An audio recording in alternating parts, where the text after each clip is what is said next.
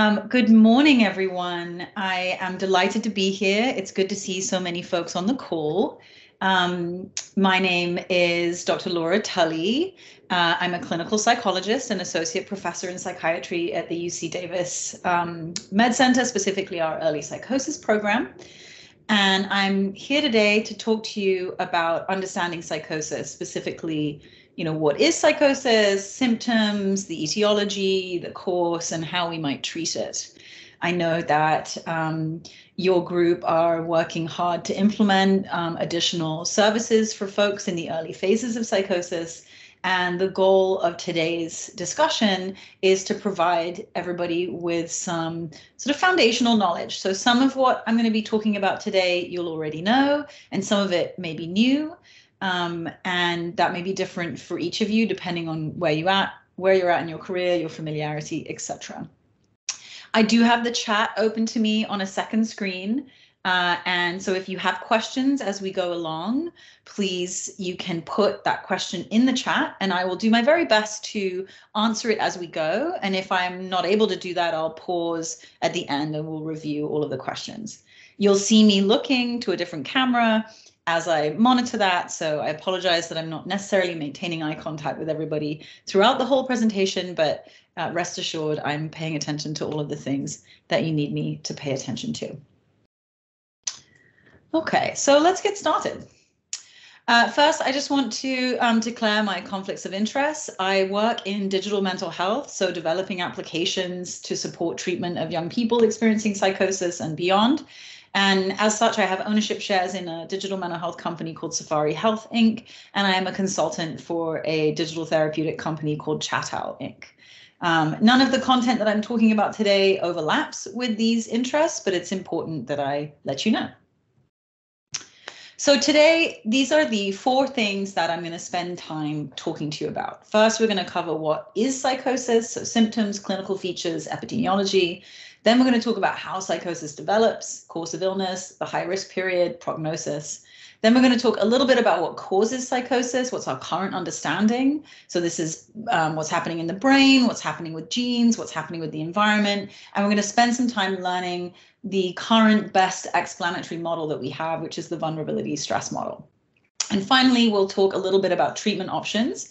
We'll spend some time talking about the coordinated specialty care model, as well as other evidence-based practices, case management, and family support.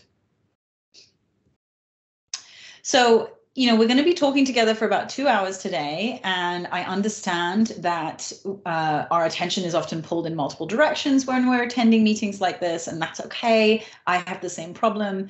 And so I just want to orient you to the one thing that I want you to remember from today. If you take just one thing away, this is what I want you to remember that psychoeducation about psychosis is the very first intervention when you're working with clients and families experiencing psychosis.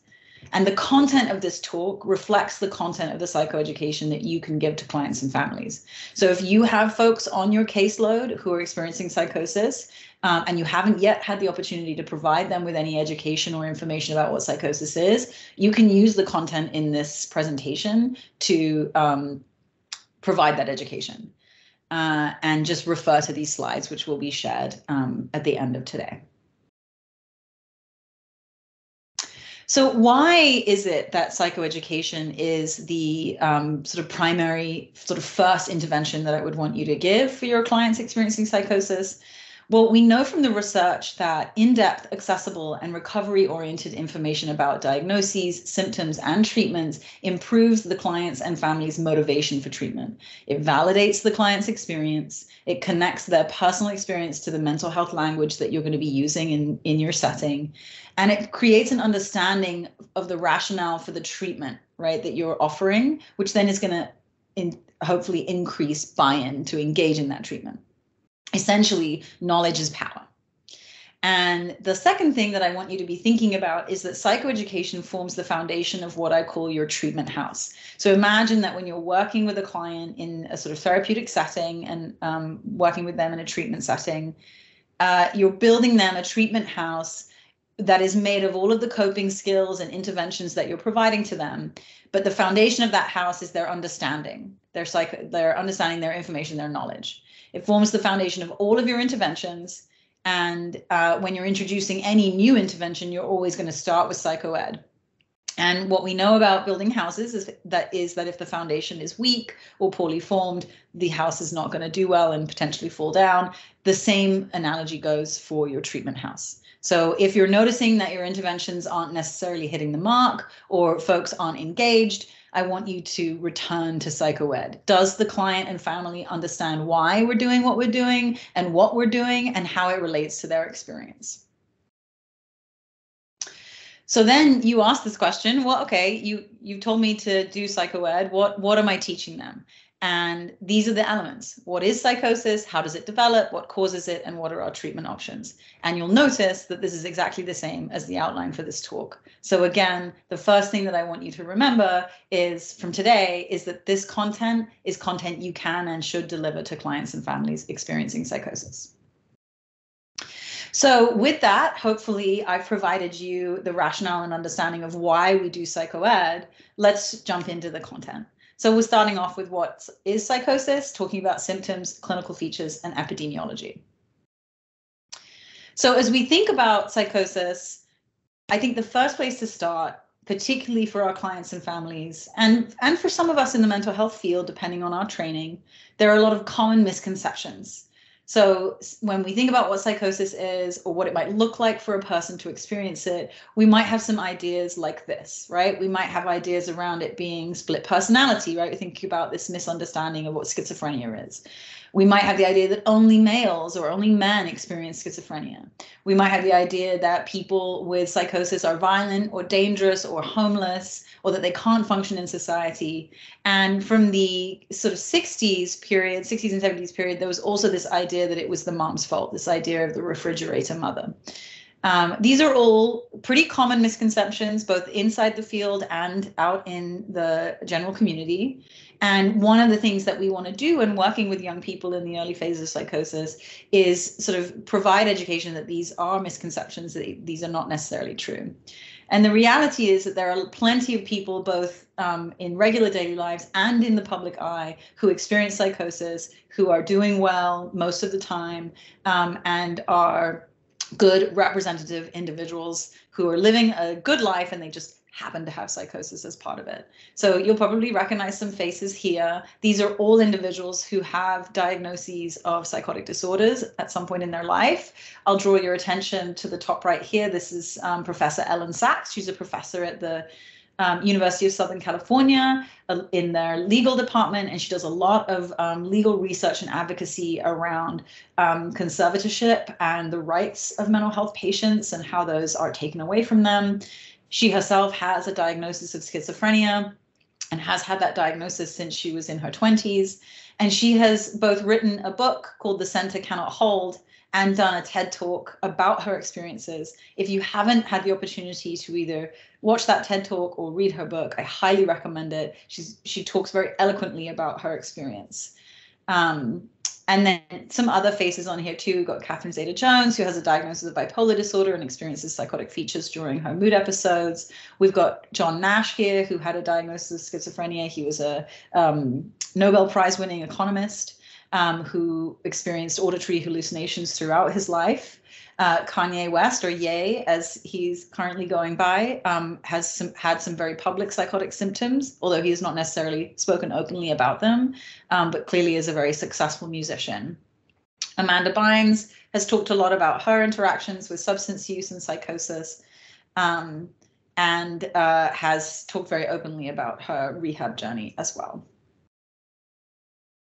So knowing that we have these folks in the public eye, folks who are successful, let's talk a little bit about what psychosis is and how we can break it down into the symptom categories. So there are kind of four main areas that we'll see symptoms or um, impairments for folks experiencing psychosis. We've got our positive symptoms, negative symptoms, cognitive symptoms, and then the functional impairments that come along with those. Let's talk a little bit about the positive symptoms. So positive symptoms doesn't mean that they're really, really good. I want you to think about this as a plus sign, almost like a mathematical operator. They are exaggerations in normal human experiences or additions to our normal human experiences. So hallucinations are additional sensory experiences in the absence of sensory stimulation. And delusions or unusual thoughts are um, exaggerations of thought patterns that are outside of culturally accepted norms. Negative symptoms, then, if we think about the mathematical operator, are a loss or withdrawal of qualities that tend to make us emotionally connected and motivated human beings. So it's a loss of things like interest, anhedonia, a lack or loss of motivation, also known as avolition, um, a reduced or lack of expression of emotion, also known as flat affect, and then reduced speech production, also known as poverty of speech or alogia. Um, and these are um, some of the harder symptoms to address because our current medications don't address them um, at this time. Actually, I just want to go back and talk a little bit about avolition and anhedonia. Um, when we think about avolition, I want you to think about um, this sort of get up and go power that we have as humans. So uh, I would imagine that many of us on this call have had days when we've woken up and we've thought to ourselves, gosh, I just don't want to go to work today. And in that moment, we have to motivate ourselves. We have to get out of bed, we have to start our routine, and we have to go to work. And most of us will do that most of the time. And there is a system in our brain that helps us do that. And it's a bit like a jump start. And part of it is that we're able to um, envision the future of, of why we would do a certain thing. What's our motivation for getting something done? What's our motivation for getting up and doing it? And for folks with psychosis who are experiencing avolition, that system just isn't working. Even if they wanted to get up and go and do the thing, the they're not able to motivate to do it. So they have this thought, I don't want to go and do these pieces, and I'm not able to motivate. Um, and then related to that is anhedonia, which is a loss of a loss of pleasure or interest in things that you usually enjoy. What's interesting about anhedonia is that there's something called the anhedonia paradox. So when you ask folks with schizophrenia if they're going to, how much they're going to enjoy a future activity, perhaps you ask them, you know, if you go to the movies next week, rate from one to 10 how much you're going to enjoy it. Compared to folks without a diagnosis of schizophrenia, people with schizophrenia who are experiencing anhedonia will tend to rate their future pleasure lower. Um, but if they if you ask the individual with schizophrenia who's experiencing anhedonia in the moment when they're at the movies how much pleasure they're experiencing, they rate that pleasure level at the same as the individual who doesn't have a diagnosis of schizophrenia. So this is this paradox, right? It's the prediction of pleasure versus the actual experience of pleasure. And this relates to the avolition symptom when we think about brain systems, because it is a similar brain system that is uh, enabling us to envision how rewarding a certain activity will be. And if it feels like it's going to be rewarding and pleasurable, then we're going to be motivated to go and do that activity. So you can imagine how these two symptoms interact with each other. If we're unable to visualize how rewarding uh, uh, an activity will be or how it contributes to our goals. It's going to be much harder to motivate to do it. And if we're unable to um, visualize how much pleasure or joy we'll get out of doing it, it's unlikely that we're going to chase that activity. And we'll talk a little bit later about how you might address those in treatment. Next are the cognitive symptoms. These ones are less talked about. So I think um, most folks are aware of the positive and the negative symptoms, uh, but the cognitive symptoms, less talked about, less well known, but very important to take into account, especially when you're working with a client in a therapeutic setting. So we know from the research that there are pretty consistent um, deficits in things like attention, learning, memory, and problem solving. And these then impact the individual's ability in school or at work or even to navigate the treatment setting. They might need to go slower in a therapeutic setting or during therapy. Um, and so taking these into account um, can be a really important part of scaffolding them in towards their success and their recovery journey. Um, they tend to be quite stable. They tend to appear before the onset of psychosis, um, and they tend not to change over time. Um, that's there is some change there, but in general, they tend to be um, pretty stable. And mostly they're related to prefrontal brain systems and executive functioning, which we'll talk a little bit about when we get to the causes um, section of today. So together, the positive symptoms, the negative symptoms, and these cognitive impairments contribute to difficulties in a variety of areas of functioning. So difficulties in school or work, so this is their role functioning, um, difficulties with friends or developing relationships, which we would consider to be social functioning. And the extent of these difficulties or impairments are related to the severity of negative and cognitive symptoms. We also know that functioning prior to the onset of psychosis symptoms tends to predict long-term outcome. So if folks were doing better prior to the onset, they're generally going to do better in the long term. If folks were really struggling even before their psychotic symptoms appeared, they might not do as well. We'll talk a little bit about the epidemiology of psychosis. So it affects both males and females, and you can see that there is a slightly higher male um, rate in males than females. The ratio is 1.4 to 1. Um, this is lower than what most people think about, um, and there are some reasons for that. I think um, it tends to be associated with sex differences in the clinical presentation of psychosis uh, that then impacts who gets spotted first and who gets services. So we tend to see symptoms start earlier in males um, and we tend to see differences in the kinds of symptoms. So we tend to see more positive symptoms in females, so things like paranoia and auditory hallucinations, whereas we tend to see more negative symptoms and um, occupational impairments in males uh, and social impairments as well. And then we also tend to see more comorbid symptoms in females, specifically uh, depression and anxiety and suicidal ideation and behavior. Um, I will note that there is some limitations to this sex differences research. The research to date has focused on sex assigned at birth rather than gender identity. And we know that um, the way that we interact with the social world, world impacts the way that our brain develops. And our gender identity and expression and presentation is going to be part of the way that we interact with the world and how the world responds to us. So there is ongoing work happening that will talk more about gender identity, but in general, these are good uh, rules of thumb when thinking about sex differences.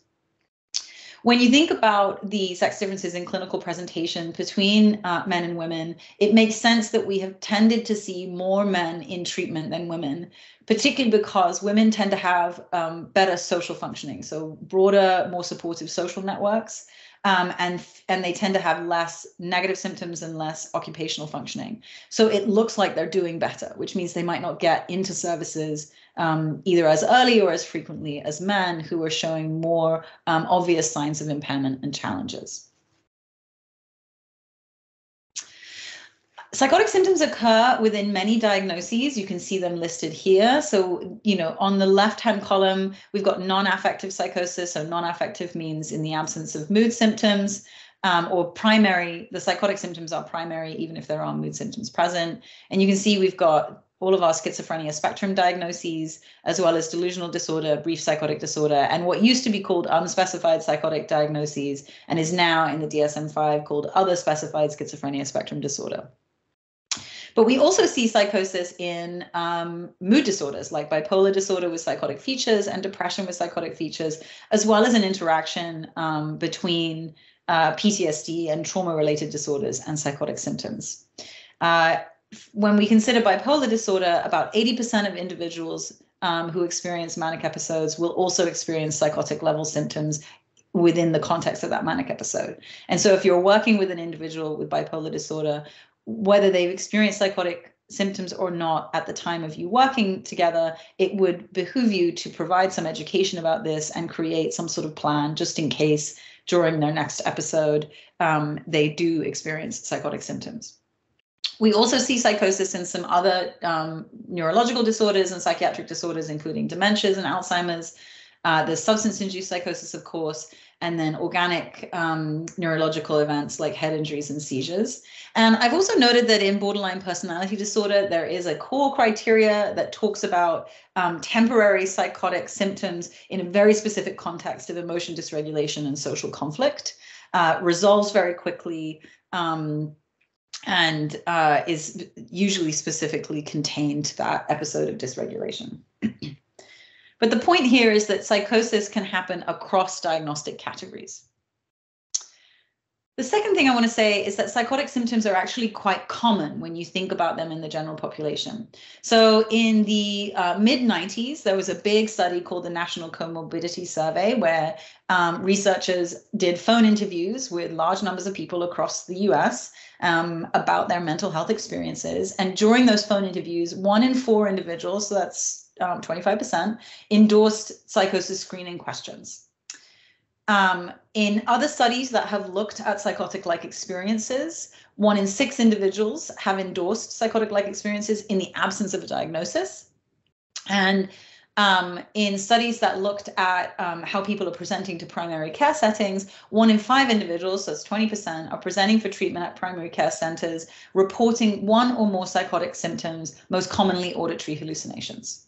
So when often one of the misconceptions that we have about psychosis is, is that it's rare, that not a lot of people experience it, but actually these data show us that it's more common than perhaps we thought. However, the diagnosis of psychotic disorders are less common. So official diagnoses of psychotic disorders are found in about 1 in 50 individuals worldwide, which works out at about 2% of the general population. However, we do know that there are approximately 272 new cases per 100,000 each year. And this is specifically in Medicaid data. And that rate is higher than it is in private insurance data, which tells us something about the social determinants of mental health. So as you um, think about providing services in your catchment area, whether it's a county or a school district, et cetera. Think a little bit about the population in that catchment area, and you can use this as a calculation to determine each year how many new cases of psychotic disorders would you expect to happen in that catchment area, and that can inform how you develop your treatment services. What what number of resources are you going to need to put towards this so that you can appropriately meet the needs of the population? In general, the average age of onset is about 20, but there is a range there from 15 to 30. Um, I would say that on average in our clinics, we're seeing an average age of kind of 17, um, slightly younger for males, slightly older for females, but it's really happening in that very important developmental process of adolescence um, puberty starts, the brain starts changing, and when there are disruptions in that um, neurodevelopmental process for folks who are vulnerable to psychosis, that's when these symptoms and impairments tend to appear. And so, as you think about developing your services or adjusting things, it's that age range that you want to go. You're going to want to spend time with and do um, screening with. So let's talk a little bit now that we've covered what psychosis is about how psychosis develops. So what's the course of illness? Let's I want us to talk a little bit about this concept of a high risk period and what kind of prognosis can we expect. So the first thing to know is that symptoms will start before diagnosis. And I'm going to orient you to the um, figure that we're looking at on the screen here. Um, so on our horizontal axis here, we're looking at kind of the severity level of the symptom. On our, um, sorry, our vertical axis, severity level of the symptom, and horizontal axis is time. This is sort of the average um, uh, course of symptoms um, for an individual experiencing psychosis. Our solid black line represents our positive symptoms. So that's our hallucinations, our delusions, and thought disorder, which really describes the kind of disorganized communication, disorganized thinking that folks with psychosis can experience. Um, that might manifest in speech that's difficult to understand. It could be tangential or circumstantial, or at its most severe, kind of make no sense and be considered what's called word salad. Or it could manifest as people struggling to express themselves and they tend to describe having a lot of thoughts that are confusing and it's hard to get them out in a clear way. Our dotted line here is representative of negative symptoms. So that's our lack of motivation, also known as avolition, our loss of interest in pleasurable activities, also known as anhedonia, our flat affect, and our paucity or poverty of speech. So what you can see here, let's focus on our solid black line, this is our positive symptoms, is that prior to the onset of acute psychosis, represented by this line here and where the arrow is pointing, we see a steady ramp up of, of positive symptoms until we reach a threshold point where the person meets criteria for a psychotic episode. Um, and this ramp up period is what we would consider to be the at risk phase. And it can last anywhere from a week to one or more years. Um, and typically, as I said, will start during adolescence. And then over time, after the acute psychotic episode, which can last anywhere from one week to one month or more, we see that over time, the positive symptom severity goes down with little undulations, right? Sometimes we have good weeks, sometimes we have bad weeks, um, but over time, the positive symptoms will remit with treatment. Now I want us to focus back on our negative symptoms. You can see that there is a slower ramping up of the negative symptoms in this at-risk phase, and they don't tend to remit as fast. It can take a lot longer for negative symptoms um, to reduce. Uh, partly this is because we currently don't have medications that directly address it, and partly because they're just very challenging to address um, because the way to address them is essentially to do this opposite action. If you have avolition or anhedonia, we want to do the opposite of what we're struggling to do. So if I'm struggling to get out of bed, the treatment is to get out of bed to try to jumpstart that brain system again. And of course, that's really hard to do. Those of you who have worked in this population or perhaps have worked with folks with severe depression will know how difficult this can be. That the treatment that you're offering a person is essentially the thing that their brain is preventing them from doing. And so they need lots of support, and it can take time for those symptoms to remit. Um, so the other thing that I want to point out here is that in the US, um, it tends to take a long time for folks to get an accurate diagnosis and then get appropriate treatment to that diagnosis. So here we sort of estimate it at kind of 18 months, and I'll talk a little bit more about that later. But this is a long time to wait for accurate treatment. And so one of the things that we're trying to do and why we're here talking together today is to um, decrease that time between the first psychotic episode and um, accurate diagnosis. And this is referred to as the duration of untreated psychosis, DUP. Now, DUP is the strongest predictor of outcome. So the shorter it is, the better a person does. So if we can identify folks earlier on um, in this at-risk phase or right around the acute psychotic episode, probably what we know from the research is that the remission of these symptoms is going to happen faster and the functional outcomes for those individuals are going to be better overall. So I want to talk a little bit more about this at-risk phase because this is where we want to be um, spending some time in terms of identification and treatment of folks. The at-risk phase essentially represents when early warning signs, also can be considered subthreshold symptoms, start to appear. And they can appear anywhere between one to three years prior to the full psychosis. Um, and it's likely in association with brain maturation that happens during puberty. And one of the things that I want you to take home from today is that psychotic symptoms exist on a continuum from subthreshold to threshold psychosis. It's not a sort of black and white distinction of not psychotic, psychotic. There is a gradation, there is a spectrum. Um, and early signs tend to present on that spectrum as changes in thoughts, experiences, and behavior and functioning. They might include perceptual abnormalities or unusual beliefs or things that are uncharacteristic behaviors for that individual, but they might not be causing um, a severe impact on behavior and functioning, and they might not be causing a lot of distress.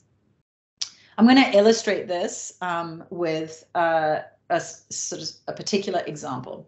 So from here, you can see that symptoms can occur on a continuum ranging from common experiences within cultural norms here on the left, all the way up to what we would term threshold psychosis, something that would qualify for an acute psychotic episode. And then in the center here on your continuum, you have attenuated symptoms or subthreshold psychotic experiences. Now, before I go into my specific example, I'm going to ask you to think to yourself um, your response to a set of questions. So I want you to think, have you ever wondered or thought that your phone was vibrating in your pocket when it wasn't? That's definitely something that happens to me. Um, have you ever been walking back to your car late at night in a parking lot and just for a split second or two, you've had a concerning thought that maybe you're being followed or watched? That happens to me. It probably happens more in women for women than it does for men, but in general, it happens for all of us at some point in our lives. Um, and then finally, I want you to think about whether you've ever been lying in bed at night, the lights are off, and that towel that you have hanging on the back of your door for a very brief second, you it looks like a person standing there, and you just kind of have a double take. Congratulations to those of you who have had any of those experiences. You have had a psychotic like experience. So, what does that mean? It means that uh, psychotic like experiences are very common. And what is the distinction between having that and it doesn't meet criteria for an attenuated or threshold psychotic symptom versus having it and it meeting it?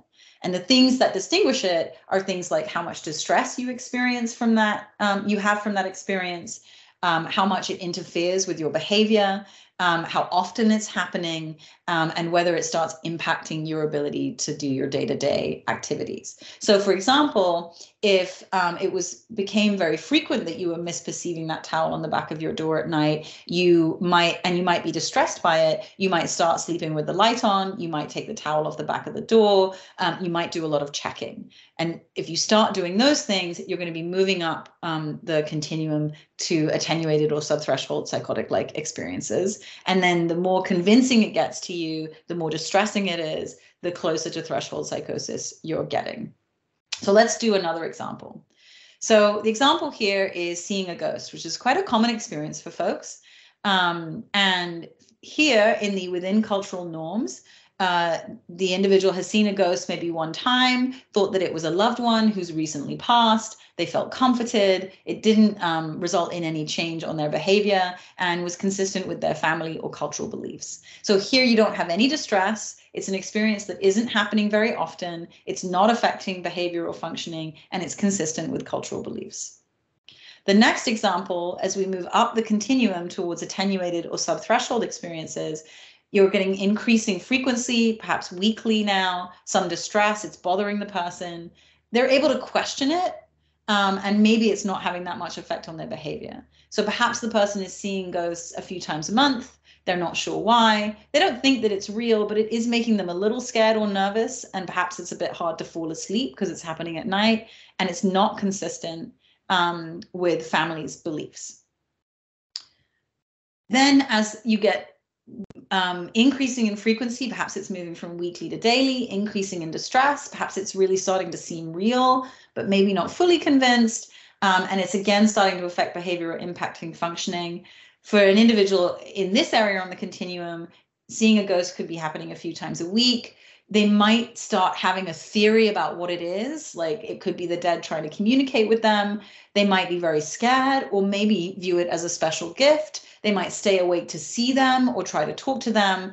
And most importantly, all of this is not consistent with their family or community beliefs. Finally, at threshold psychosis, you're seeing significant distress, high frequency, 100% conviction that it is indeed a real um, sensory experience that's happening at least some of the time. They're 100% convinced it's affecting their behavior and it's impairing their functioning. So an example here would be they're seeing ghosts regularly or daily. They're 100% convinced that it's the dead trying to communicate with them. They might feel terrified or they might feel gifted. They could be communicating with the ghost day and night. Is likely distracting them at work or at school. Their family is concerned. This is not consistent with cultural beliefs and it's really starting to impact this person's life. So you can see here with this example how depending on things like frequency, distress, and conviction, um, that's how we're going to evaluate where on this continuum a person's experience um, falls. I'm going to take a moment here just to take a look at the chat. I've seen someone put a comment in there. Uh, let me read through it and see if I can respond to the questions. So my brother sends these photos of his curtains in his home. The sunlight shines through them a certain way at a certain time of day to make images of faces appear. Um, and for him, he has a whole photo album full of them. Yes, thank you for sharing that, Calvin. I think um, this is a really nice example of a psychotic like experience. And where it falls on the continuum is going to depend on um, how often this is happening for your brother, how distressing it is, um, level of conviction, and whether it's impacting them in their day to day life um, and whether this is something that um, is outside or within cultural norms of your family, of your community, um, spiritual beliefs. Uh, so really, really nice example. Thank, thank you for sharing that. So as you're doing an evaluation on where a person's experiences might land on this continuum, there's some really important issues to consider. So the first thing that's important to consider is developmental norms. So if you're working with children, you need to think about this concept of metacognition, which is this idea of thinking about our thinking. This can be particularly hard for young children. And so you may need to be more concrete in your questions and you may need to pay more attention to their effect on behavior. What is the kid doing? What is the kid, uh, how is the kid doing in their functional spaces? Um, and you also want to check in with collateral, parents, guardians, etc. Um, and the other piece is that we need to remember that some behaviors are developmentally normal for younger children, but not adolescents. So if you're working with a younger kid and they're endorsing imaginary friends that they talk to, that would be less concerning than if you're working with a 15 year old who's endorsing imaginary friends that they talk to. This is sort of developmentally outside of the norms within um, kind of mainstream American culture. Um, this leads me to the second most important issue to consider is cultural and familial context of the experience. So the interesting thing about psychosis is that really what distinguishes it from something like the thoughts that we have when we're depressed or the thoughts that we have when we're anxious is that the kinds of thoughts that we have in psychosis are considered outside of cultural norms. Um, and so it's important when you're doing an evaluation to first figure out what are the cultural norms for that individual. If an individual exists in a community where there are beliefs in ghosts by the family, or it's part of the religious experience, or it's a spiritual experience of how we communicate and relate to our ancestors, we're not necessarily going to interpret that experience as a, as a clinical symptom. And so you want to have that context and then you want to look, okay, how is this experience showing up in that context? Is it consistent with, are people worried about them? Is it causing distress or impairment? And go from there in terms of your evaluation. And then finally, it's important to look at environmental factors. So if somebody is experiencing suspiciousness or paranoia, which is a common um, delusional or unusual thought symptom, you want to look at what might be leading to this. Are they be are they being bullied at school? Do they live in an unsafe neighborhood? Do they have a history of traumatic events um, that have led them to develop um, sort of pretty classic um, cognitive negative cognitive thought patterns that are present in PTSD? Um, or are they showing these suspiciousness or paranoid symptoms outside of the context of bullying or the trauma or the unsafe neighborhood? So, in general, um, when folks have suspiciousness or paranoia related to something like bullying, they tend to be worried in particular contexts around particular people, but it doesn't necessarily expand to the grocery store. Um, but if you're seeing this suspiciousness or paranoia kind of expand out to multiple settings that are unrelated to um, some of these other um, aspects, then we would potentially be concerned and would want to do further evaluation. So I'm talking a little bit here about evaluation. So how do you ask about symptoms? So for some of you, depending on your training background and when you were trained, you may have been told to ask the following two questions to evaluate psychosis. Do you ever see or hear things that other don't others don't seem to see or hear? Do you ever think that people are out to get you? Now, both of these questions um, sort of set your client up for wanting to say no. Because when somebody asks me if I hallucinate, I now am concerned that if I say yes, I'm going to get in trouble. I might get hospitalized. The doctor might um, make a decision about my treatment that I'm not ready to do. Um, and it just feels unsafe for me to answer this question. Same thing for do you ever think people are out to get you? So, more often than not, it's possible that these questions are going to get you false negatives.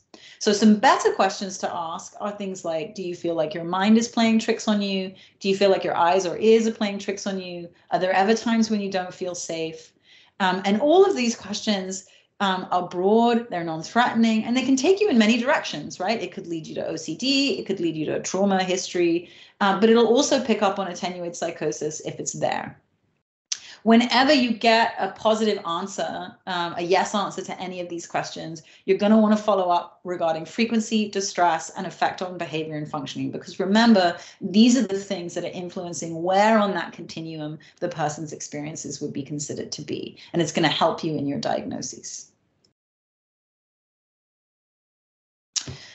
So let's talk a little bit about course of illness and prognosis. So what we know from the research is that folks with psychotic disorders have very high rates of disability. Upwards of 20% of Social Security benefits are used to care for individuals with schizophrenia, and that's data from 2010. um, published in 2013. I am relatively confident that that number has increased over time, um, but I have yet to see an updated analysis. I, I sort of periodically check for it. We also know that uh, 25 to 50% of individuals with schizophrenia will attempt suicide at some point. About 5 to 10% will die by suicide, depending, and the numbers vary there depending on how um, the researchers are classifying um, deaths and where they're getting their information from. But this is a pretty significant, um, uh, it's significantly higher than the general population and than other mental health disorders, including depression.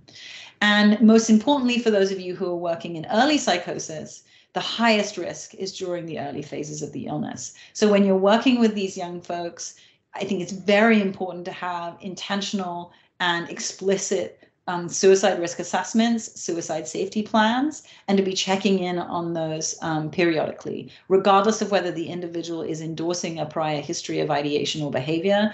It would be advisable to have a safety plan no matter what, given the increased risk for these individuals.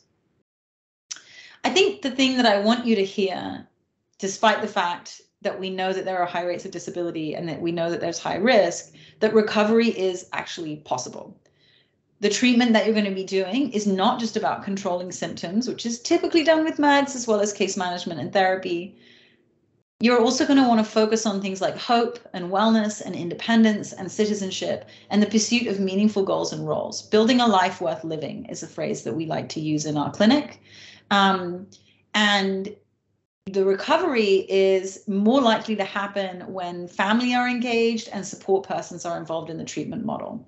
And so the other thing that I want you to remember as you think about supporting your clients in their recovery journey is who else is on their bench, who's in their support network.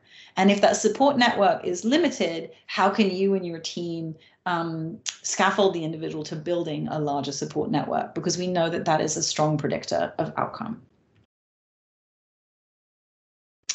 Speaking of predictors of outcome, um, this duration of untreated psychosis, or DUP, that I talked about earlier, is the single best predictor of long term outcome. So, the longer it takes to accurately diagnose a person experiencing psychosis and then get them into the right treatment, the worse they do in the long term. The faster, the better. What's challenging is that the median delay between symptom onset and starting treatment in the USA um, based on a study done in mid 2015, is about 18 months, so a year and a half. Um, this is a pretty sad indictment of our system, and I'll give you some comparisons. So, in countries like the UK and Scandinavia and Australia, um, their median delay is um, anywhere between three to six months. So, our system is not doing a great job here and so one of the things that we're, we're trying to work on and why um, uh, states and counties have been funding more early psychosis programs is to try to reduce that DUP because we know that early identification is really key. What do I mean by early? Well, early psychosis is typically in this country referred to the first five years after onset of symptoms. It's considered a critical period during which treatment has the biggest impact. Um, and it's also important to note that during this early psychosis period, we want to focus on maintaining functioning rather than recovering functioning that was lost. Although one can do both depending on the individual and, and where they started from. So now that we've covered what psychosis is and what the prognosis looks like, course and outcome, let's talk a little bit about etiology or what causes psychosis. So the best model that we have right now based on the research is the vulnerability stress model. And what the vulnerability stress model says is that the onset of psychotic illness is triggered by an interaction between biological vulnerability and environmental stresses. And biological vulnerability is typically considered to be based on genetic vulnerabilities that then lead to other biological vulnerabilities in a person's neural system. When talking about the vulnerability stress model, we really like to use this image. And I share this image with my clients and families, and I explain it in the way I'm about to explain it to you. So first, I'm going to orient you to what we're looking at. So on our horizontal axis here, we have a representation of biological vulnerability from low to high. On our vertical axis right here, we have a representation of environmental stress from low to high. And then this red line here is the dividing line between folks who have an absence of symptoms and folks who have a presence of symptoms.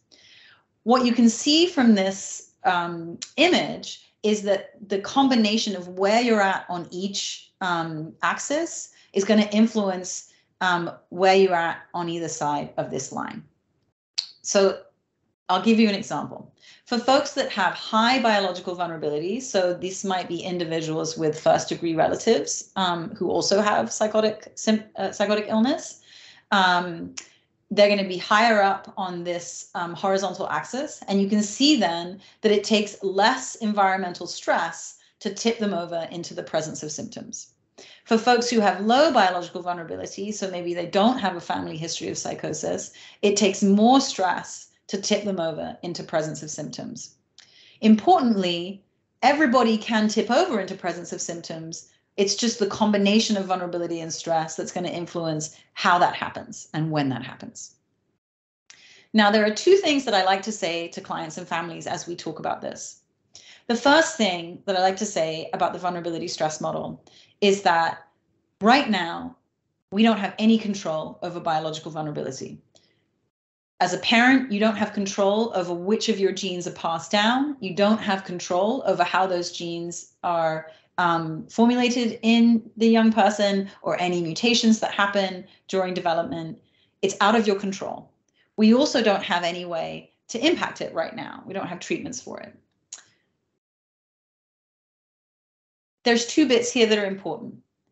For many parents that I work with, one of the questions they ask me is, is this my fault? Did I do this to my kid? And I like to say here, no, you didn't have control over this.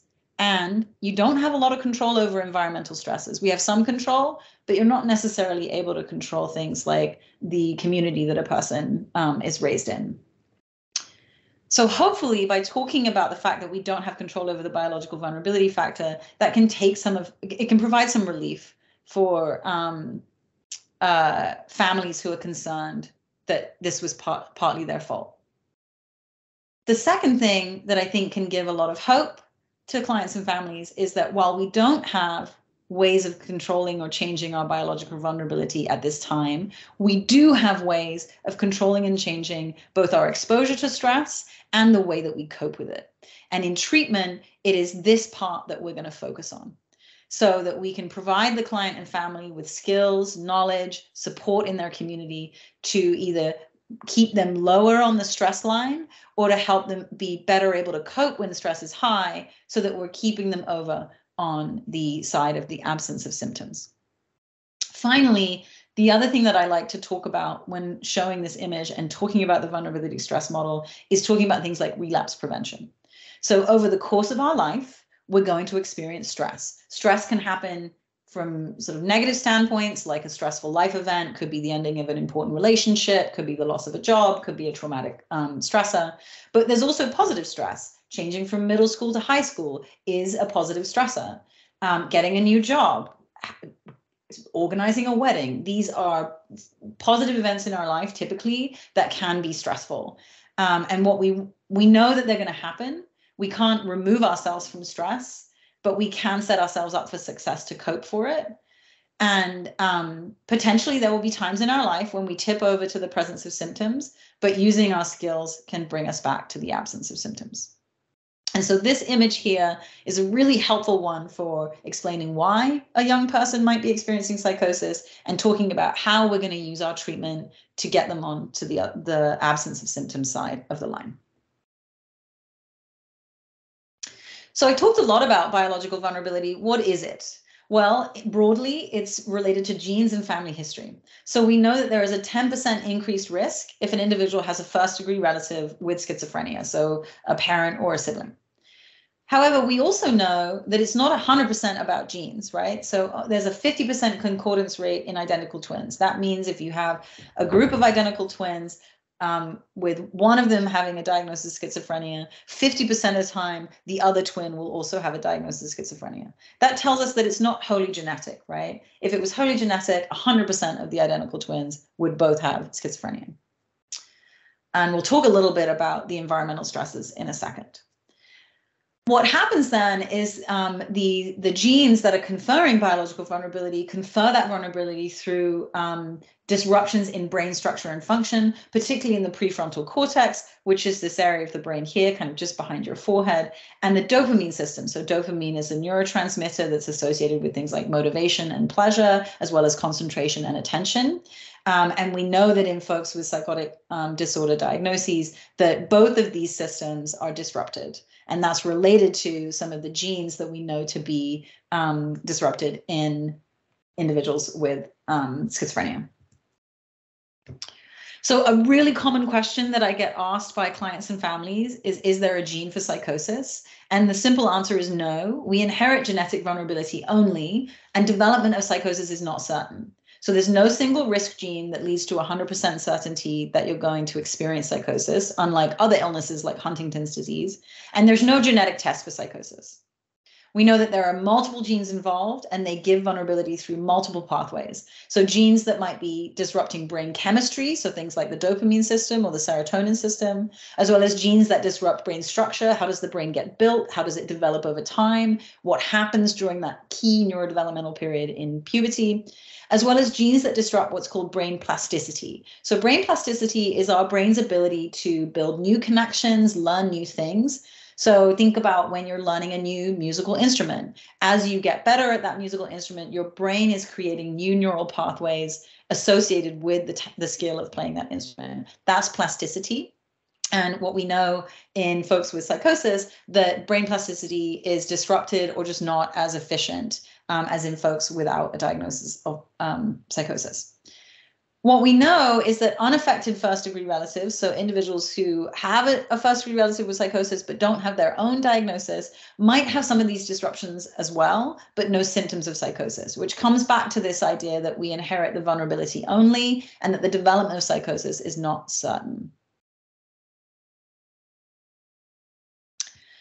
So we talked about biological vulnerability. Let's talk about types of environmental um, stresses. So we know from the research that there's a lot of prenatal factors that impact neurodevelopment and create um, increased risk for developing psychosis later in life. This includes birth complications, including hypoxia during uh, delivery, as well as malnutrition during um, pregnancy and viral infections during pregnancy, like influenza, specifically during the second trimester. All three of these are associated with an increased risk of developing psychosis later on in life, but not certainty. Um, we also know that there are social factors that increase risk for developing psychosis later in life, including adverse social and economic conditions, traumatic life events, um, as well as um, a, well, I guess that's under the, I was going to say a lack of resources, but that falls under our adverse social and economic conditions. Um, there's also um, more evidence coming out um, from the research in the last few years around um, folks who are in historically excluded communities or marginalized communities these folks tend to be um, at higher risk for developing mental health problems in general and at higher risk for developing psychosis later on in life. And this is associated with things like the social determinants of mental health, structural racism, discrimination, implicit bias. These are all pieces that are stressful. And if that stressor is happening on an already vulnerable brain, then you can see how that might then lead to developing psychosis or other mental health problems later in life. We also know that there are some family factors that contribute to increased risk for psychosis, including being in a highly stressful family environment, a family environment where there may be poor communication or hostile communication, or a family environment where there may be um, challenges in problem solving um, and sort of family level executive functioning is probably the best way I can describe it. Finally, we know that there are some pretty strong associations with drug use and increased risk for psychosis, with a, a, specifically strong association between cannabis use and psychosis onset and severity. So I'm going to take a moment to talk a little bit about cannabis use because it's a very common um, it's very common in our population and something that a lot of us, when doing therapeutic work with these clients, need to address. So cannabis use is actually very common in individuals experiencing psychosis. They tend to use cannabis at higher rates than the general population. Estimates um, range from 20 to 45% of clients with first episode psychosis reporting cannabis use. We know that approximately one in two individuals report use in their lifetime. Um, might not necessarily be current, but at some point in their life. And approximately one in four meet criteria for a cannabis use disorder. So it's high, highly prevalent and causing um, impacting functioning and leading to uh, substance use disorders. How does cannabis use impact psychosis? Well, first, it increases the risk for developing psychosis in the first place. So we know that using cannabis before the age of 15 makes you four times more likely to develop psychosis as an adult, regardless of your genetic vulnerability. We also know that using high potency cannabis, and by that I mean cannabis with high THC content, makes you three times more likely to develop psychosis at any age.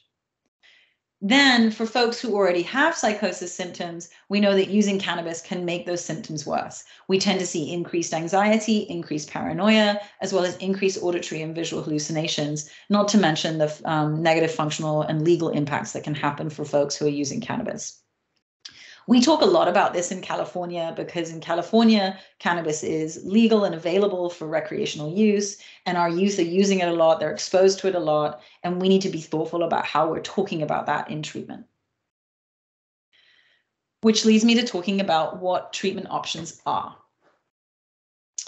Um, and I'm going to talk a little bit about the coordinated specialty care model, as well as some other options if you're not um, associated with a coordinated specialty care clinic. So, in general, when you're working with folks with psychosis and their families, you're going to want to boost protective factors as part of your recovery efforts. This means treating symptoms and not just the psychosis symptoms, right? We want to treat the comorbid ones anxiety, depression, sleep disturbance, psychosis, trauma. You want to work on maintaining physical health. So, working on sleep hygiene, nutrition, adding in physical exercise if it's not there, and limiting or eliminating alcohol and drug use. Then we want to uh, work on limiting stress. So perhaps adapting educational, occupational, and family responsibilities. Now, this doesn't mean that the client with psychosis gets out of their household chores or doesn't have to go to school anymore. It means that we're going to adapt how those things are being done and what the expectations are. So maybe folks with psychosis might need a little extra time to get their household chores done. Maybe they need a little um, assistance in their educational setting, could be a 504 plan or an IEP. Perhaps they need some adjustments in their occupational environment to set them up for success. You also want to work on improving coping skills, so coping skills that can help with symptom management, as well as coping skills within the family system, particularly around problem solving. And then finally, increasing social support. And social support can be defined very broadly, doesn't have to be the traditional family unit, can be clinicians, can be clergy or other members of a religious community, extended family, friends, roommates, partners, people that are trusted individuals in the client's life that can be part of their support network as they move through their recovery. In order to boost protective factors, we recommend using evidence-based treatments. And here we sort of split them out into kind of three main categories. Evidence-based treatments that impact kind of the biological or neurological aspects of the illness include medication management as well as substance use management. And we're going to talk a little bit about that with a specific um, discussion around a harm reduction approach. Psychological and or cognitive interventions include using cognitive behavioral therapy, which is an evidence-based intervention for psychosis, as well as cognitive remediation. So this is things like brain games and other kind of tr- uh, brain training exercises to help folks with their cognitive symptoms like attention or learning and memory, as well as things like social skills training, um, supported education and employment um, activities, as well as peer and family support. And then finally, you want to work on environment and um, family interventions. So this includes case management and linkage, linkage to additional services that can support the person in their success. Um, in using a particular family intervention called multifamily group that came out of um, early psychosis um, researchers and clinicians in Maine, as well as providing family psychoeducation. So you can see here that like involving the family is a really important part of um, successful treatment. So I want to talk a little bit now about the coordinated specialty care model, which is the current um, sort of cutting edge recommended treatment for folks in the early phases of psychosis. It was developed and broadly implemented across the UK, Australia, Scandinavia, and now in the US. It typically includes community outreach and education to increase early identification, as well as a combination of evidence based treatments for psychosis for both the client, the family, and their support network. The focus of the coordinated specialty care model is in the first kind of two to five years of psychosis onset. That range is really a decision that's made by the county or the catchment area and the funding body. Um, and there are some variations of the coordinated specialty care model across the United States, and I've listed them here. So the PIER program came out of the group in Maine that I referenced. Uh, the Navigate program came out of the uh, uh, National Institutes of Health RAISE study. Um, On Track New York um, is a program across the state of New York. And I believe that there are some, if not many of you on this call that have been working with On Track New York um, to, to uh, implement some of these early psychosis interventions. And then there's the EDAPT model, which came out of the UC Davis group that I'm part of. These variations have a lot of overlap. Uh, differences might include the age range that these folks tend to see, whether they're including just individuals who've had a, a, psychotic episode already or individuals who are also experiencing attenuated symptoms, and then the kinds of um, family, peer, um, and case management interventions that are included. Uh, but in general, they all wrap the client with multiple services and the family as well. Um, ah, so I just mentioned this. So the US programs tend to differ in the age of clients served. So you can see here on track is 16 to 30, EDAPT is 12 to 40, PIER is 14 to 40, Navigate 15 to 40. This is sort of influenced again by funding and staffing and training. Uh, stages of psychosis are served. So is it both high risk and first episode, or is it first episode folks only? And then the specific psychosocial interventions, interventions that are provided. So in the Navigate program, they use something called individual individual resiliency training or IRT, which is actually a CBT based intervention versus more um, traditional CBT that's used in EDAPT and PIER. And then there's family education that's happening in Navigate versus multifamily group that's happening in PIER and EDAPT. Uh, this is a visual representation of what the UC Davis EDAPT coordinated specialty care model looks like. It's really just an expansion of the models that have come out of the Navigate and On Track New York studies. And I think the most important thing I want you to see here is that we have both the client and the family involved in treatment. Family here defined very broadly and defined by the client doesn't necessarily have to be traditional um, biological nuclear family relatives, could be other support persons, chosen family, roommates, partners, etc. But it's whoever it is that's in that person's support network that's going to help them be successful in their recovery journey the coordinated specialty care part, the coordinated part of the specialty care model is mostly done here through our weekly um, team meeting, where everybody on the clinical team gets together and talks about cases and figures out how to move forward to support that client. And you've got multiple different kinds of voices in that discussion so that it's not just coming from the psychiatrist or not just coming from the psychologist. You're getting multiple perspectives and then coming together to work as a team to support that person in their goals. There's a lot of clinic coordination that's happening in the CSC model. You've got referrals, you've got screening, you've got case management happening even before they're in the clinic. We have our physicians providing health and medication management as well as psychoed and support. There's a lead clinician, typically a psychologist or a social worker, who's providing gold standard assessment, psychoed, and trauma integrated CBT for psychosis. We have specialty supported education and employment um, staff who are specifically focused on supporting that client in either getting back to school or adapting their school environment or getting back to employment or um, adapting their employment environment or helping them even move from school to employment and vi vice versa. Um, we have a family advocate. So, this is an individual who has lived experience of caring for a loved one experiencing psychosis. And their job is to support the family members. Their job is to be there to talk about how hard it can be, how distressing it can be.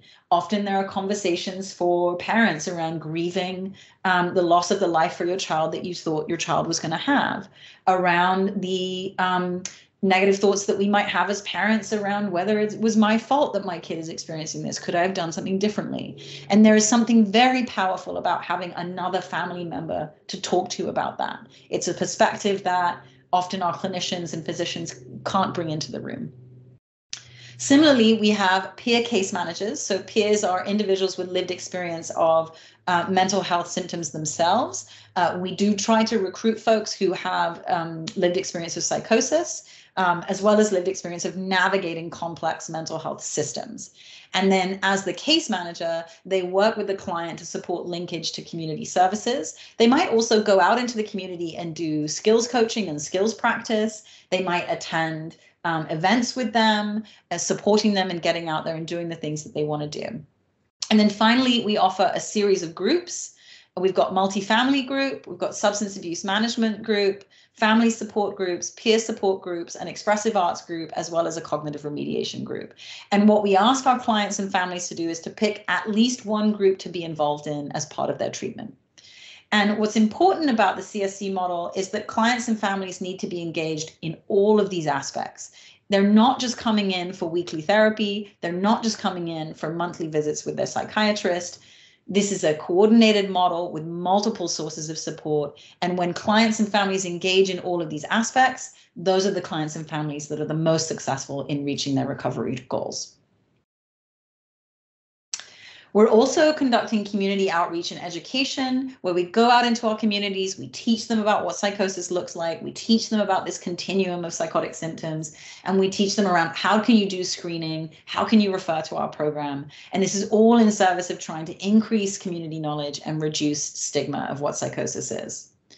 Our physicians and team are also coordinating with primary care to continue to support physical health um, and our lead clinicians are doing a lot of relapse prevention and crisis management as well. So you can see that there's a lot going on. Um, we're also doing outcomes evaluation to see whether our treatment is working and we're adjusting pieces depending on whether what's working, what might not be impacting the person, what's in line with their goals versus what isn't in line with their goals. So now that we've covered what the coordinated specialty care model is, I want to spend a little bit of time talking specifically about treatment options for folks experiencing psychosis who are using cannabis, since it is such a common um, presentation in our population. So uh, how can the treatment team help? Um, and why am I asking this question? Well, it's important to note that um, we do not exclude people from coordinated specialty care who are using substances.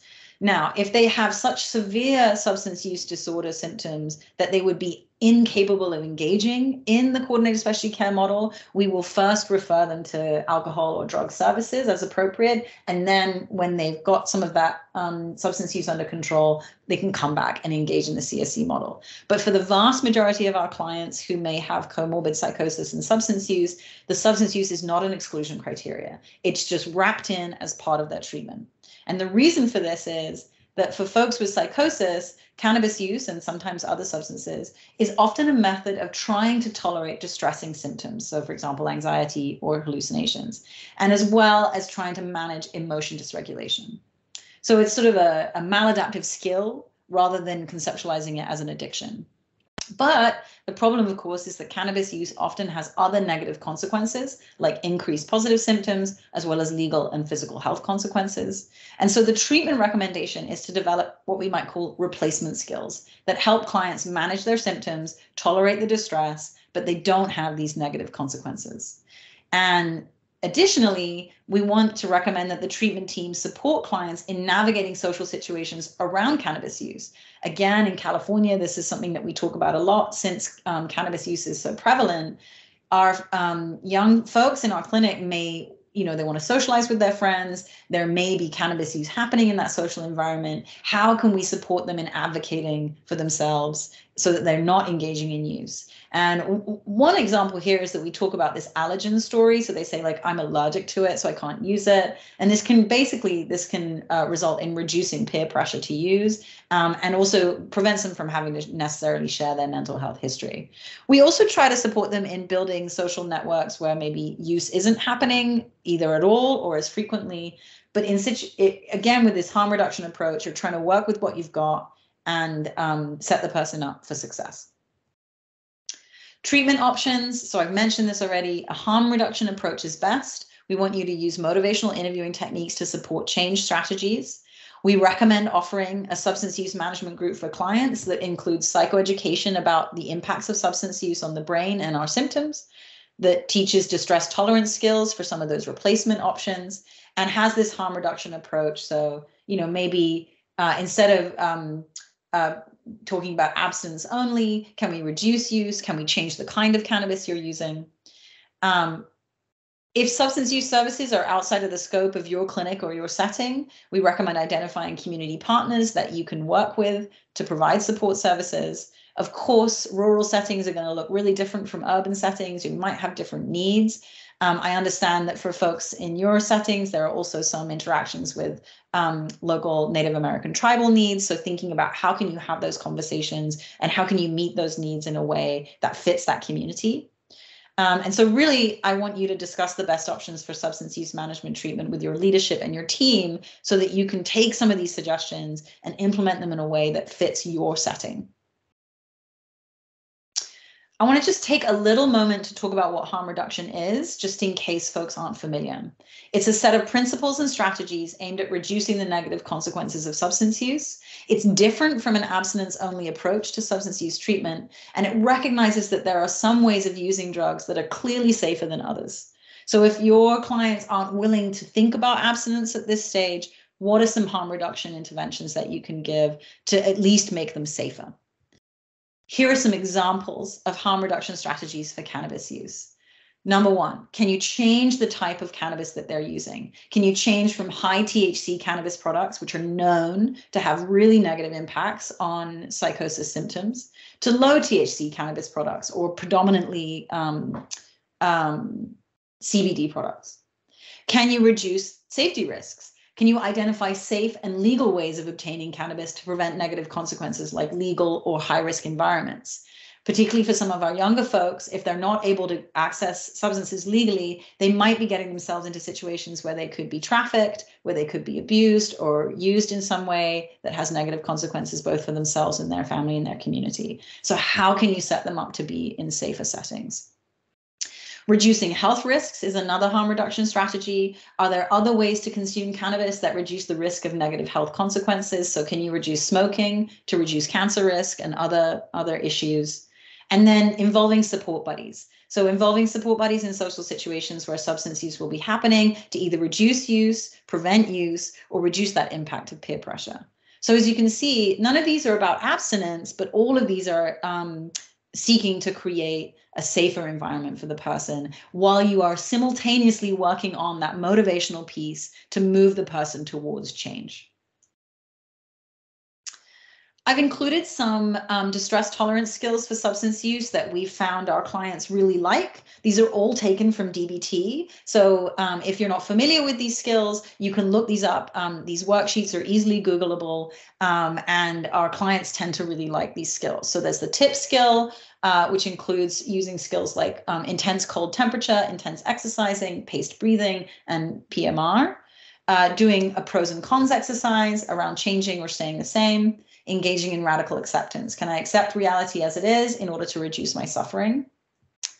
Um, the accept skills is also a really useful skill to identify alternate things to do. The improve skill, another way to um, tolerate distress through imagery, meaning, prayer, one thing in the moment, etc. And then self-soothing skills um, through our senses that can help us tolerate distress. So these are, again, all skills that you can look up, and there are clear worksheets and instructions for how to teach them. And they're often useful both for substance use and for just tolerating the distress of psychotic symptoms.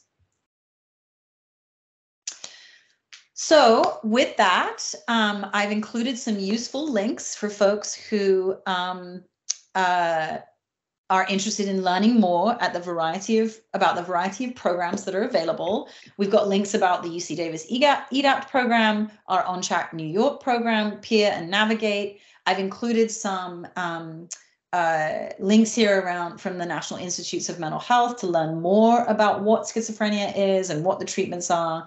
And then there's a link here that can support um, clients and families and yourselves in finding an early psychosis program near you, um, which is um, put out by a particular organization called PEPPNET. For those of you that are interested in learning more and aren't already involved in PEPPNET, I uh, highly encourage you to join the listserv.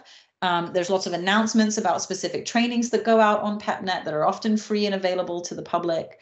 Um, there's uh, you can launch questions about referrals to PEPPNET and connect with other people um, in your um, uh, community to support your clients. Thank you for listening. That was a lot of information all at once. We've got a bit, we've got a fair amount of time for questions and discussions. So I shall um, stop sharing my screen and open it up for questions. And you can either unmute or um, put your question in the chat.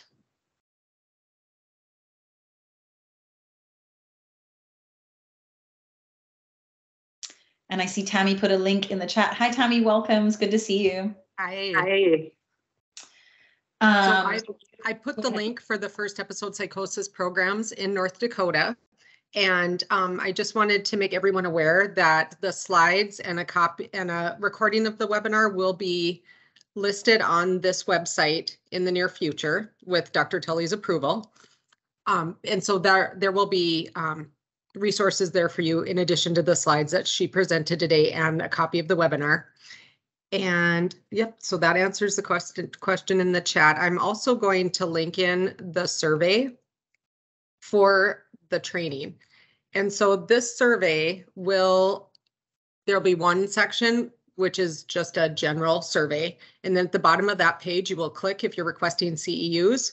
There will be another form to fill out for CEUs. And once that's complete and submitted, you will receive that electronically in, in via the email. So I'll put my email in here as well if you do not get that. Um, but in order to get the CEUs, you will have to attend live. So anybody that attends the recordings, there will not be availability of CEUs. So I will put my name and email in the chat for any questions.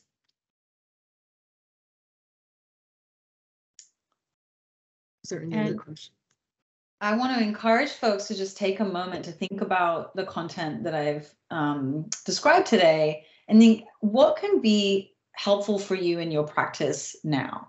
What is something that you learned today that you didn't know?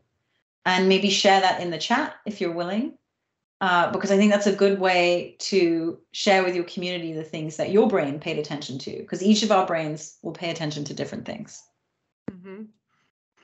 This is Shauna. I'm um, the clinical director at Southeast, and we're one of the pilot regions for the um, first episode psychosis program. So I thank you for doing this. Um, I think one of the things that really stood out to me um, was really I like visuals and so I liked the idea of the threshold and even being able to use that like as a tool for um, you know families to kind of understand like how how this comes about destigmatize it put it into something a little bit more tangible so that was something that i appreciated yeah thank you nice to meet you shauna and thank you for sharing that and tammy i can send you a variety of handouts um, that you can also put up that we use um, to talk with families about what psychosis is. We've got we've got a variety of psychoed handouts that can be helpful. Yeah.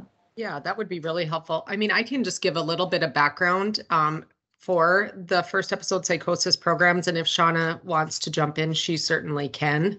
Um, we initiated a first episode psychosis program in 2016 at Prairie St. John's in Fargo.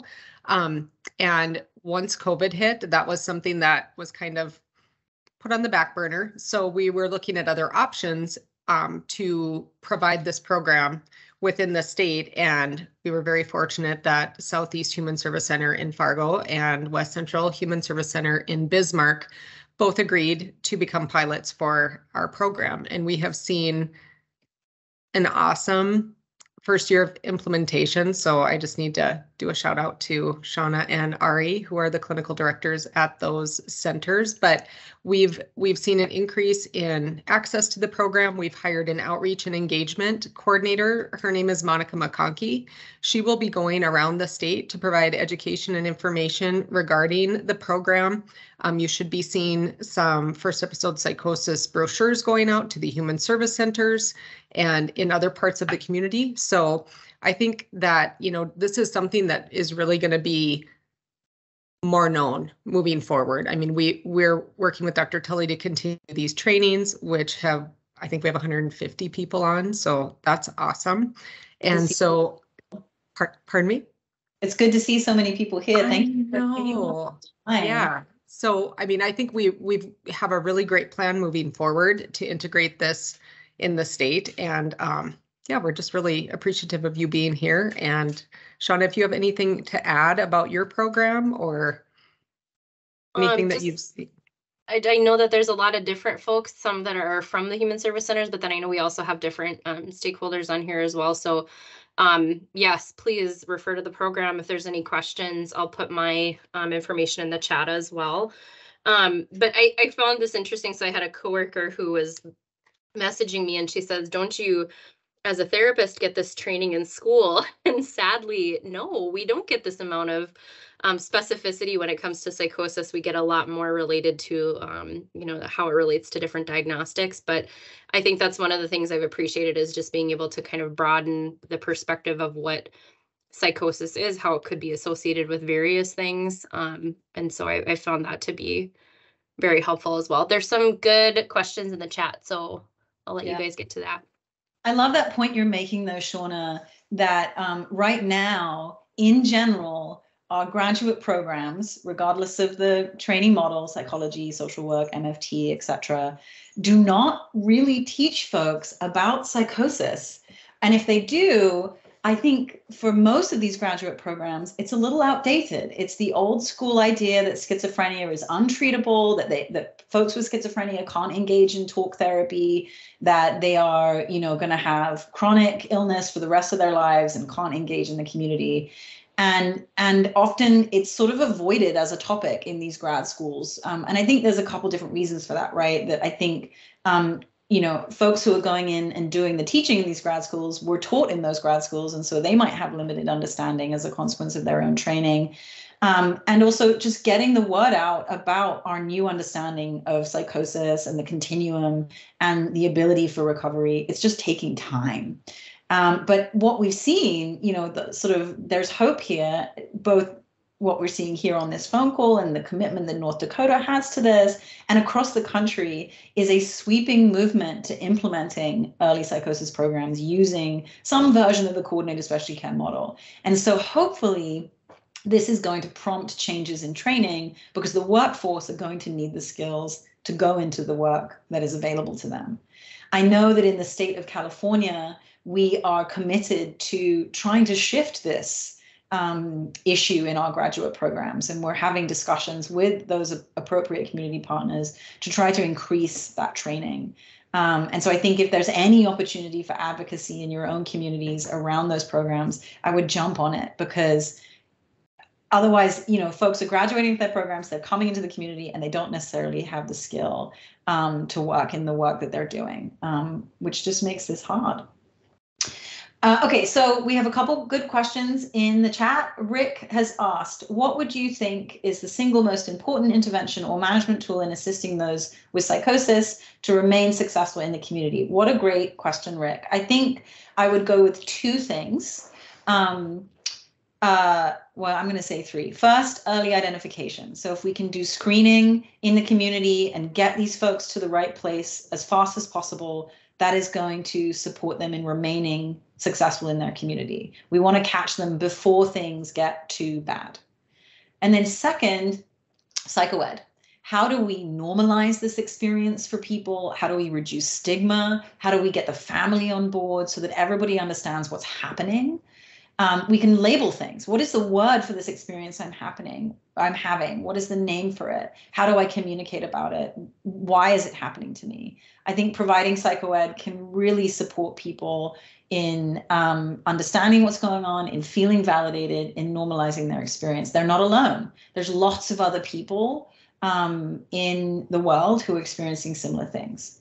And then the third thing I think is really important is going to be that case management, particularly from folks with lived experience. So going out into the community with a peer case manager, getting help, doing things like filling out forms to get your Medicaid, uh, filling out forms to get SS, uh, Social Security disability support, um, figuring out your bus route to school and like practicing taking that bus route, just providing that um, support and that um, scaffolding for navigating complex systems can really support an individual in staying successful in their community, in re-entering their community, and moving along in their in their recovery journey. I think if if those are the only things you can do based on your resources available to you, those are the things I would focus on, and at every step of the way involving the family. Um, so hopefully that's helpful. Um, in an ideal world, right, everybody goes into a coordinated specialty care program within like a month of being identified as having psychotic-like symptoms.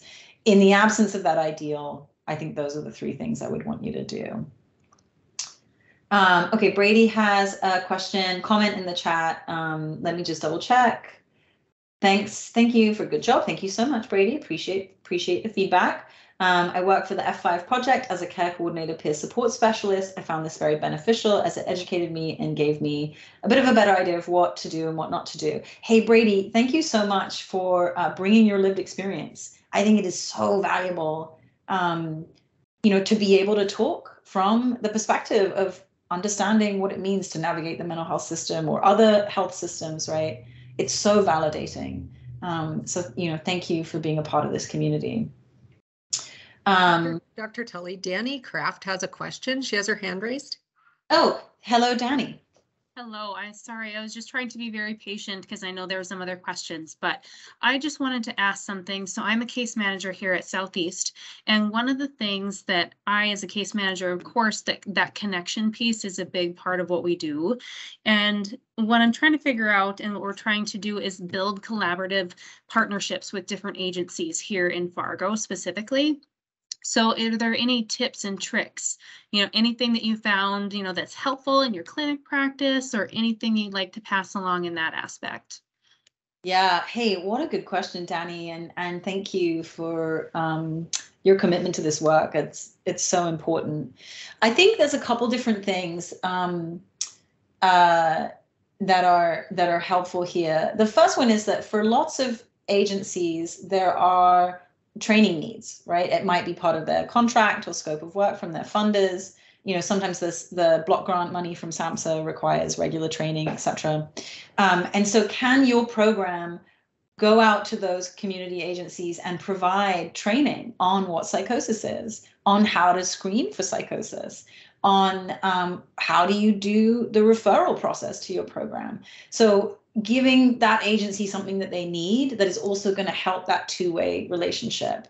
And i think even before you do that setting up these me- meetings with the folks in that agency and saying what are you seeing? What's the challenges that you're having? And ca- how can our two programs work together to meet those challenges? Because the truth of the matter is is that these young folks are in those agencies and they're either not being identified because uh, those agencies don't have the tools or the resources to do that um, or they are being identified, but then they don't really know what to do with them. And that's hard. That's a, a big struggle. So having that conversation, providing that education, providing that training, I think are really good ways of doing that.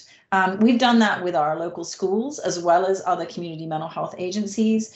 Um, and now we're doing it with our local juvenile justice system as well. Um, and it's just a lot of talking and meetings and and like what are your needs and how do we work together?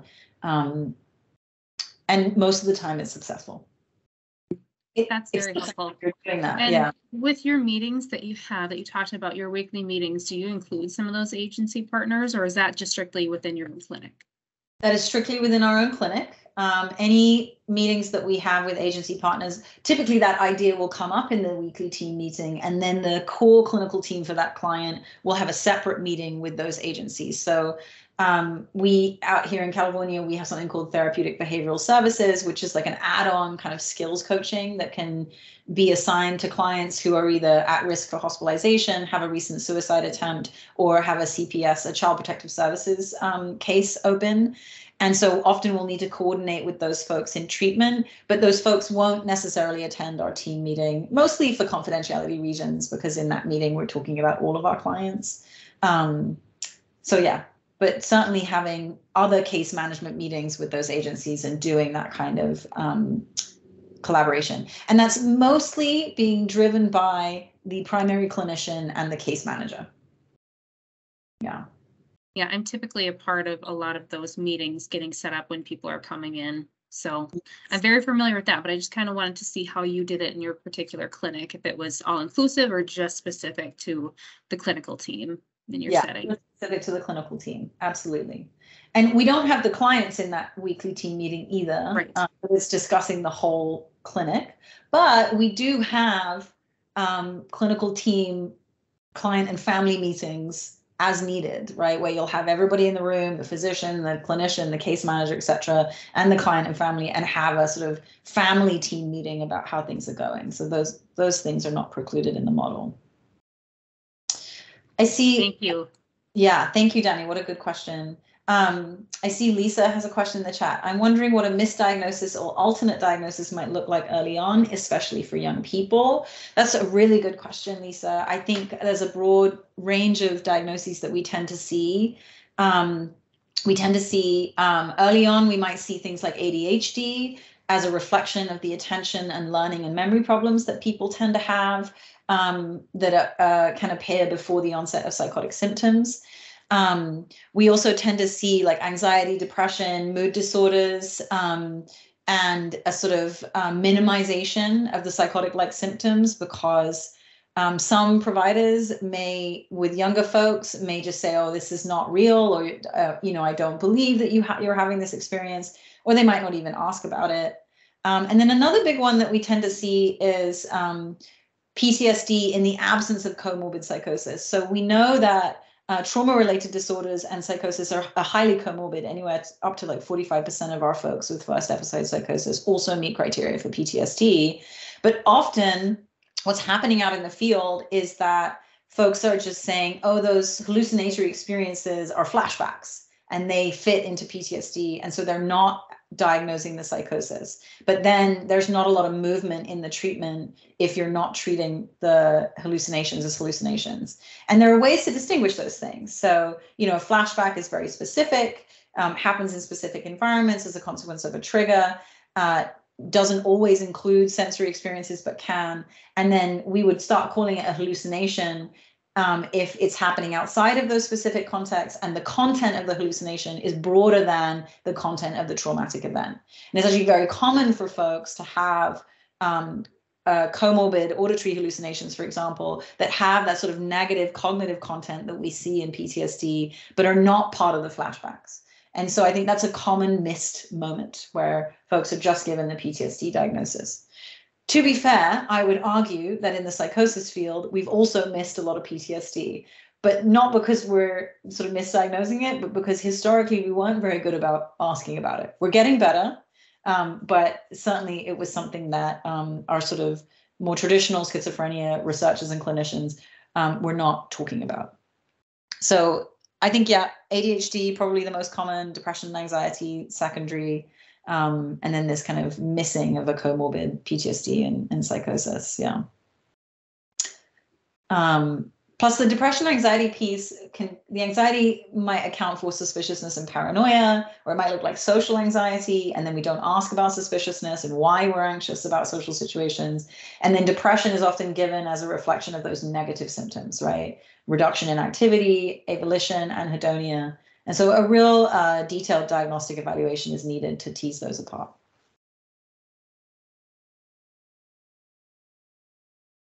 I'm going to scroll up, make sure I miss any other questions. I just wanted to make everyone aware that we have contracted with Dr. Tully to do additional trainings. So we do not have those scheduled yet, but they will be coming probably in the next year. So um, look for the email invites that have been going out. We do a lot of marketing with these um, which is probably why we resulted in so many attendees, which is great. So there will be additional trainings and they will also be uploaded to the website. So um, just for future reference. Yeah. Um, we're going to do some some work on kind of treatment approaches, some CBT for psychosis pieces. I think it'll be um, really interesting. So stay tuned.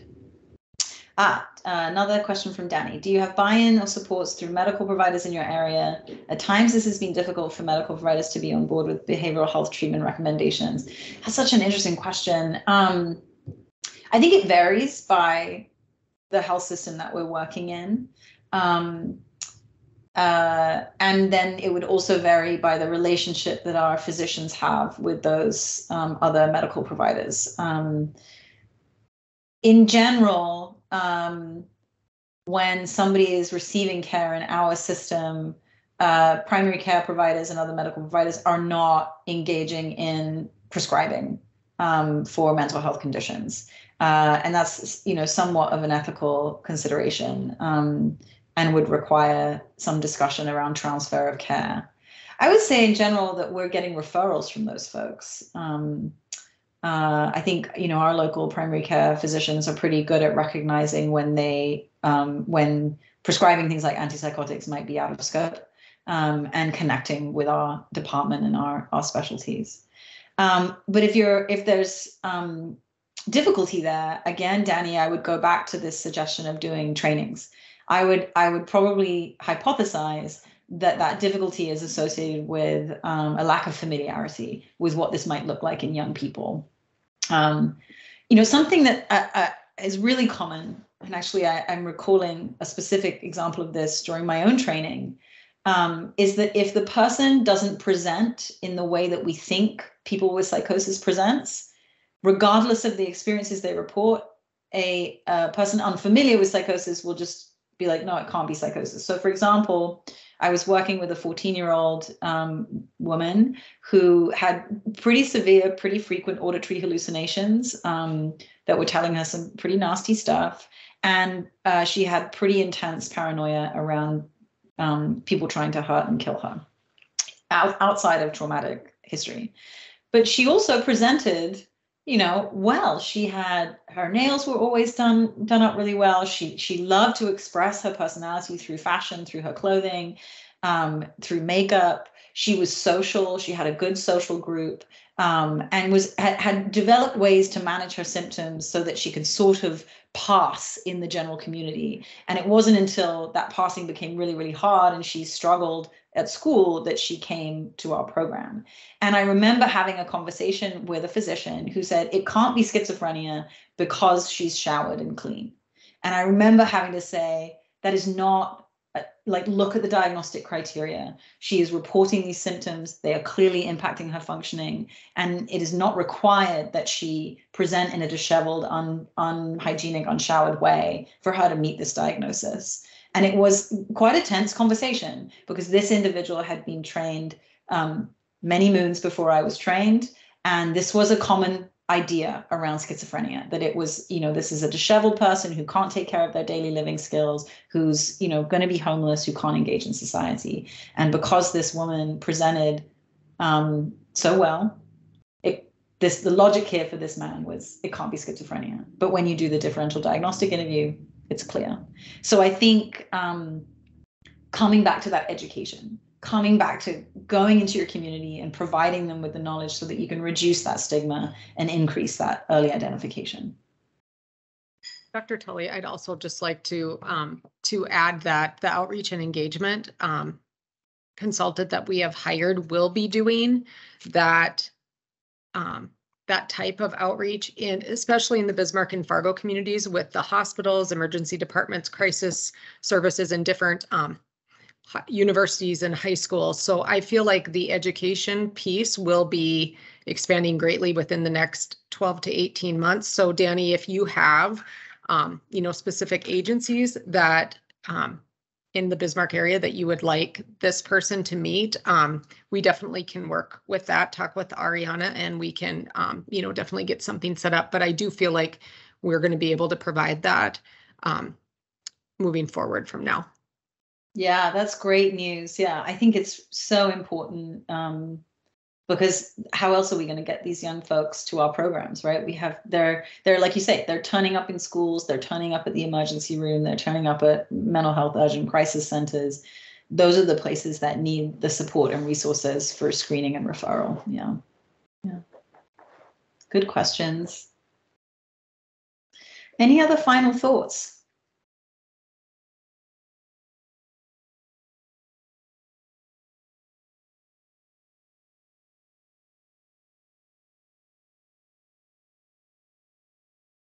giving people time to type.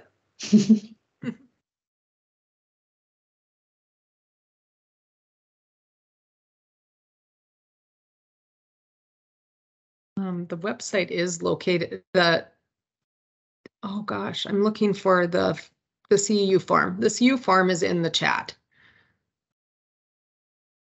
So if anybody has difficulty with that, reach out to me. Yeah, get your CEUs. Yep, Thank you, Michelle. Appreciate it. Thanks, Bruce.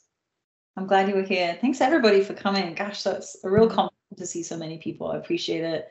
I know time is tight. I know you're busy. I know you're doing really valuable work in your communities. So thanks for spending your time with me. I hope it was useful. Thank you so much, Dr. Tully. We, we're very excited that you're willing to help us build this program in North Dakota. Oh, it's, it's such, yeah, it's close to my heart. You know, I have a, a family member with a diagnosis of schizophrenia, and it's why I do the work that I do. And um, the more programs like this we can get out there, and the earlier folks can get into treatment, the better. I don't ever want a family to experience what our family experienced, which is it just took too long for him to get the support that he needed. So thank you. Thanks for your commitment to this. It's great. It's really great to hear.